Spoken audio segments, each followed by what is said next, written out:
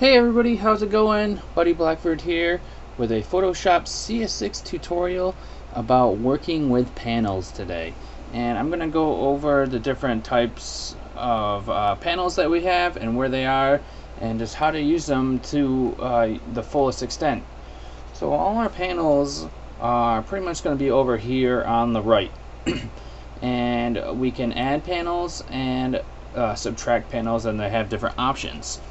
So the first thing we want to do to uh, add different panels is we can either click on these tabs like this to switch between the different panels that are are not showing like this and there's there's panels in each of these sections here.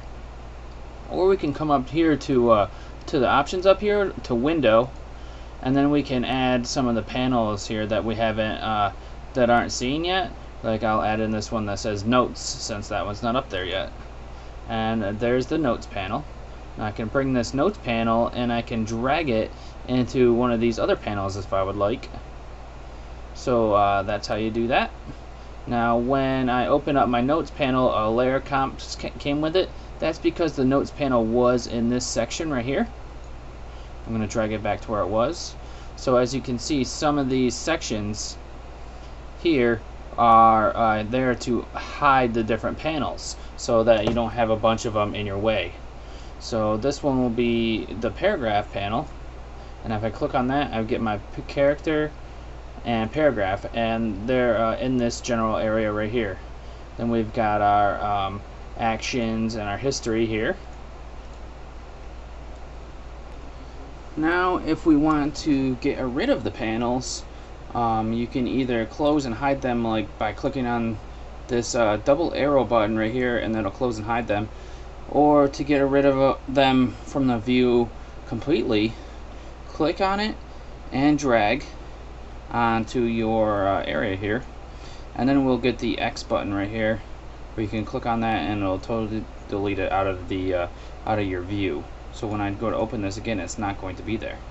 So what we're going to have to do to bring it back is go back into window and the one that we deleted was called history. Click on that again, it'll show up again and we can just drag it back in there if you want to.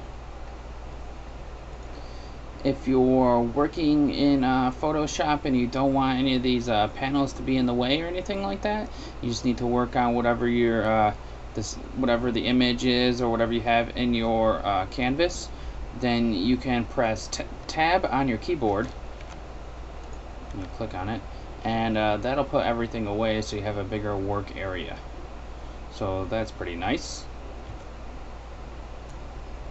Something that I find uh, pretty useful that I like to turn on that isn't on the, by default in uh, Photoshop is um, when I click on um, one of these panels to bring them out here like this. Sometimes they're in the way of what I'm trying to work on and if I click off they don't automatically go away but there is a way to make uh, the panels automatically go away.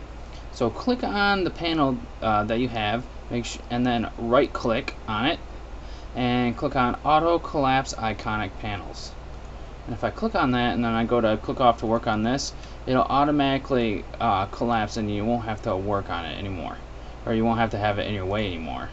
So that's uh, pretty useful in my opinion.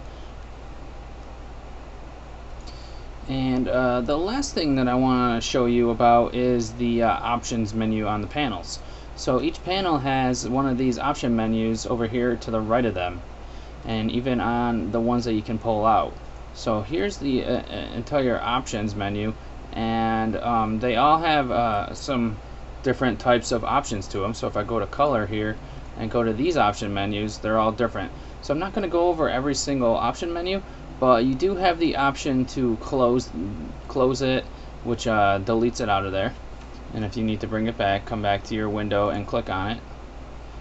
And um, you have the option to uh, close the entire tab group.